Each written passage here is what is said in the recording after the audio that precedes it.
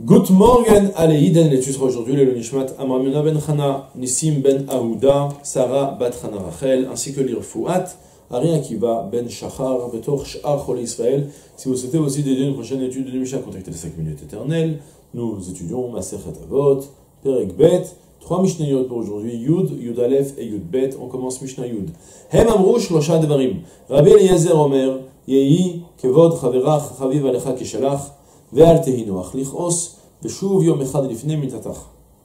והווה מתחמם כנגד אורן של חכמים, והווה זהיר בגחלתן שלא תיכווה, שנשיכתן נשיכת שועל, ועקיצתן עקיצת עקרב, ולחישתן לחישת שרף, וכל דבריהם כגחלי אש. הם אמרו שלושה דברים. Ils ont dit trois choses. Qui sont ces ils Les cinq Talmidim de Rabbi Yochanan ben Zakkai, que l'on traîne depuis maintenant trois Mishnayot en arrière. Il y avait depuis la Mishnate El Chet, là-bas, Rabbi Yochanan Mazakai faisait l'éloge de chacun de ses disciples, de ses cinq disciples. On avait plein de disciples, mais cinq particulièrement. Ensuite, dans la Mishnah-tête, on avait appris les, chacun quel était le bon conseil pour réussir dans la vie et pour ne pas rater sa vie.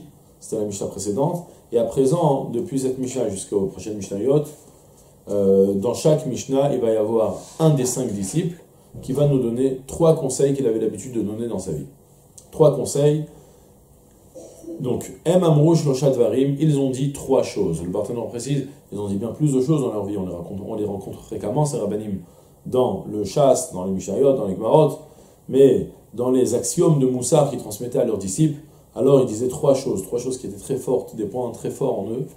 Et Rabbi, alors le premier c'est Rabbi Eliezer Omer. Rabbi Eliezer avait l'habitude de dire, je vous préviens tout de suite, pour Rabbi Eliezer, il va y avoir un petit bug apparemment, c'est que on va énumérer, il va dire beaucoup plus que trois choses, et le but en fait va être de regrouper les phrases en, en groupe, justement pour en dégager qu'il y avait en réalité trois directives. D'accord? Pour le moment, on va tout traduire. Que l'honneur, le respect, l'honneur de ton prochain soit cher à tes yeux comme le tien. Autant que tu te soucies qu'on te respecte, tu aimes, tu voudrais qu'on te respecte, tu apprécies qu'on te respecte, eh bien, veille à te conduire envers ton prochain de la sorte en le respectant. Et ne sois, ne sois pas facilement irritable. Ne sois pas facile à être irrité. Dès qu'on pique, tu t'énerves, non, il faut apprendre à se contenter.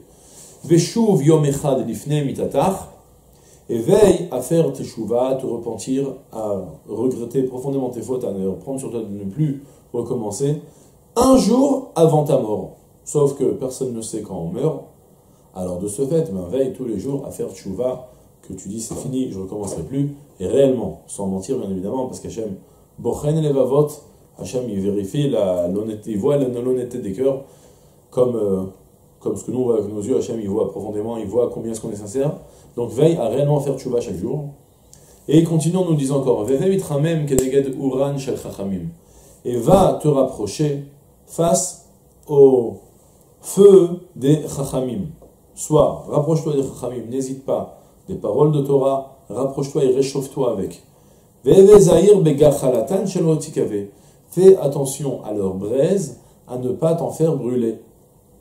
neshichat shual, car leur morsure est une morsure de renard, et leur piqûre est une piqûre de scorpion, et leur souffle, le sifflement, est comme un sifflement d'un saraf, une sorte de serpent, que lorsqu'avec leur, donc avec leurs paroles, le, la chaleur, leurs paroles, donc leur souffle, ils, sont capables de te détruire, comme un serpent qui va se siffler et piquer. Et toutes leurs paroles sont comme des braises. Donc, si on fait le point, on est censé trouver à l'intérieur de toutes ces phrases-là qu'il y a trois choses. En réalité, en fait, donc on va tout de suite découper la Mishnah. Les deux premières phrases qui nous disaient respecte ton prochain, veille à vouloir l'honneur, le, respect de ton prochain comme ton propre honneur, ça se relie avec la phrase d'après ne sois pas quelqu'un qui soit facilement irritable. Soit en réalité, comme ça c'est rapporté essentiellement dans Tigre d'Israël, le but de sa phrase c'est de dire veille, Rabbi Elazar ben Orkenos, qui était lui le borsou de l'homme Ben Tipa, qui connaissait toute la Torah, alors euh, qui connaissait toute la Torah qui nous donne donc ses conseils pour pouvoir euh, tout préserver la Torah, alors il nous dit, tu sais, je vais t'apprendre quelque chose. Là, une mauvaise mida qui fait, un mauvais trait de caractère qui fait qu'on perd tout, c'est la personne coléreuse qui s'énerve. Il faut absolument se dégager de, cette, de la mida du colère. Et sur ça, il vient nous dit, ben, sache que pour pouvoir t'éloigner de la colère, réussir, parvenir à te contenter, à ne jamais t'énerver, à rester toujours serein, alors il faut que tu fasses quelque chose de très important. C'est que tu résous le problème à sa source, que tu veilles à respecter ton prochain. En réalité, il ne, disait pas, il ne dit pas de respecter son prochain pour respecter le prochain. C'était pas le but de sa phrase. Peut-être que c'est quelque chose de très important. Mais lui, son souci, c'est de nous donner le conseil, surtout pour ne pas être quelqu'un de coléreux. La colère, c'est une mauvaise méthode qui fait tout oublier sous l'effet de la colère. Même Moshe Rabbeinu, le plus grand des hommes, il a fauté plusieurs fois parce qu'il a été colère, parce qu'il il, s'est mis en colère avec Aaron, avec euh, c'est fréquemment arrivé, il y avait au retour de Midian encore. Dès qu'il a été en colère, le, roi Godesh, la Shrina s'est écartée de lui, et il a fait des petites erreurs à son niveau. Pour vous dire combien c'est important de ne pas se mettre en colère. Donc c'est pour ça qu'il nous dit, ben, tu sais quoi, résous le problème à source, veille à respecter chaque personne, à lui donner un maximum de crédit, et comme ça c'est sûr que tu vas pouvoir sans arrêt lui laisser avoir une soupape assez euh, souple pour pouvoir garder tes, distances et ne pas te mettre en colère et lui donner du crédit, ne pas être irrité dès qu'il va euh, dès va pas fonctionner comme ce que tu voudrais qu'il euh, fonctionne.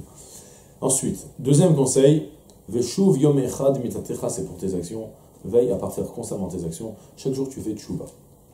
Et puis, maintenant, il va nous donner le grand conseil encore, que tout ce qu'on va lire maintenant va être relié dans, autour du même principe. Le principe, c'est merveilleusement bien expliqué dans l'effet Shachaim, de nous expliquer que les paroles de Chachamim, on les compare à des braises. Autant qu'on prend une braise, on a l'impression qu'il y a un petit point rouge à l'intérieur, c'est presque éteint. Mais en réalité, il y a une source de chaleur très importante à l'intérieur.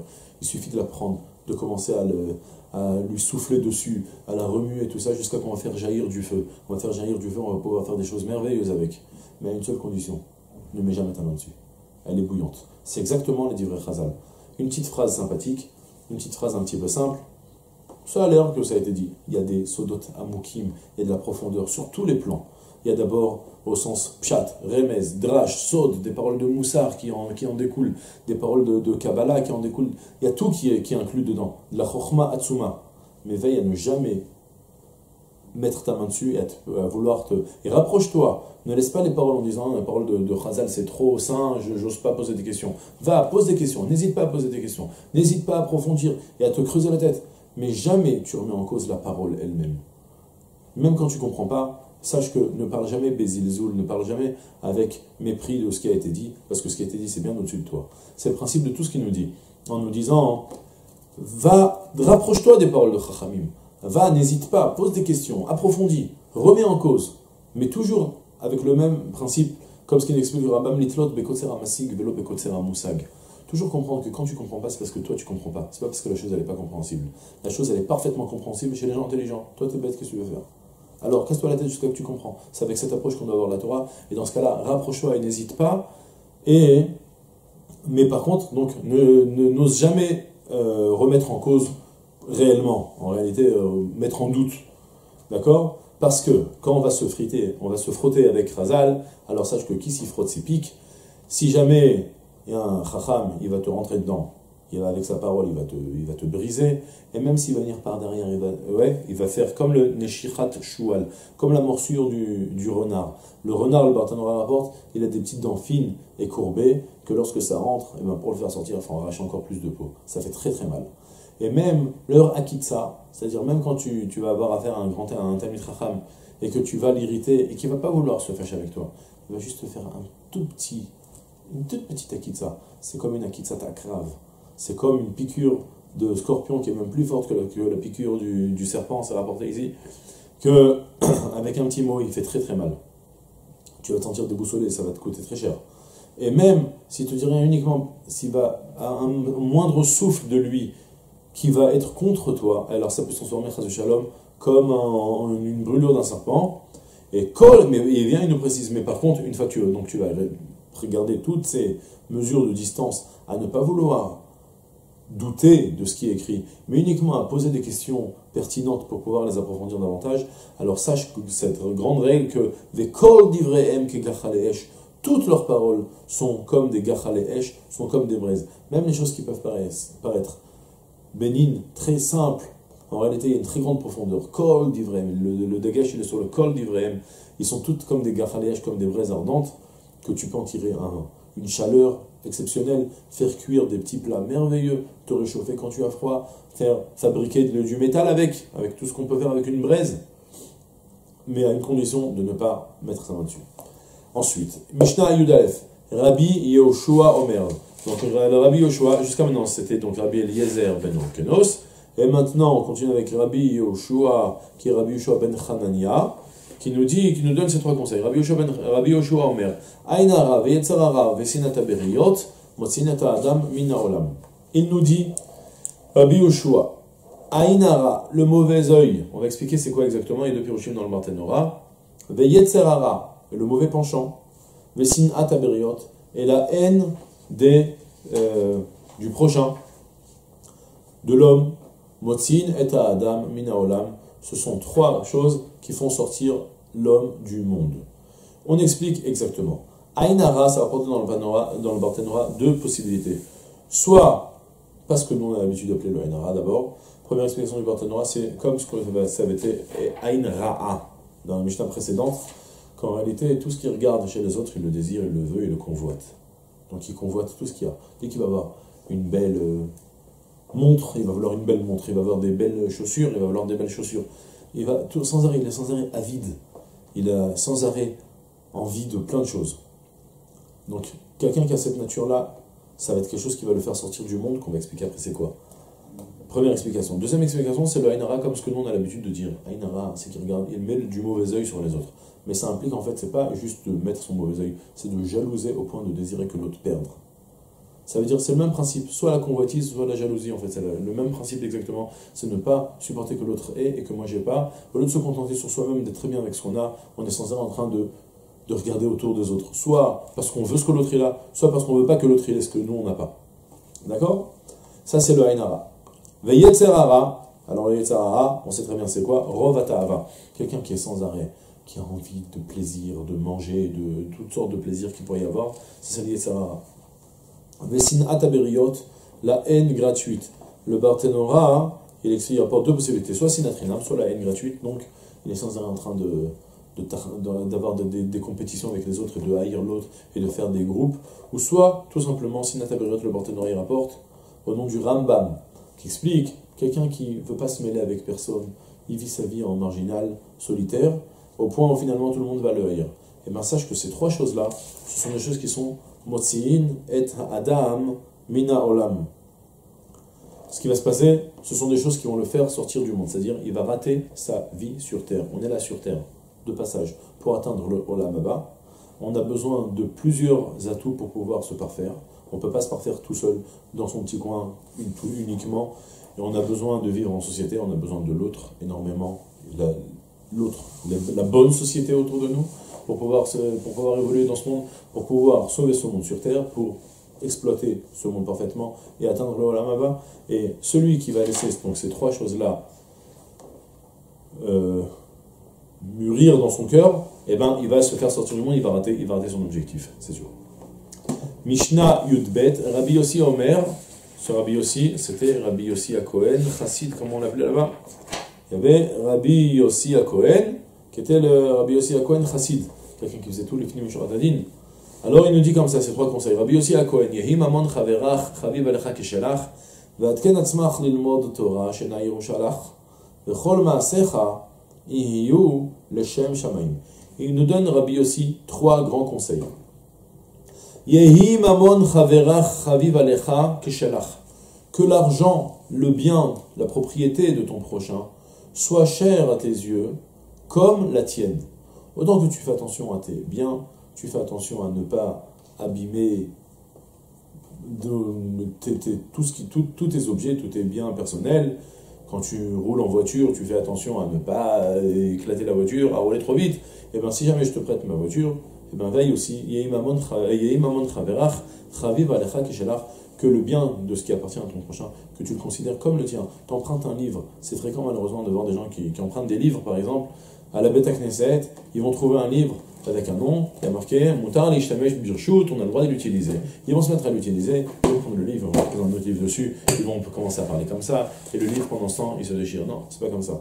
D'abord, si tu fais pas attention à ton livre à toi, c'est ton problème. Toi, tu dois faire attention à ton livre, et tu dois faire attention au livre de ton prochain encore mieux que le tien. Ok? Ve'atken, ça c'était le premier conseil. Ça rejoint tout à fait avec Rabbi aussi, qui était le chassid. Il faisait tous les fnim parfaitement avec splendeur. Regardez, ces trois conseils, ils vont dans le même sens. Lilmod Torah.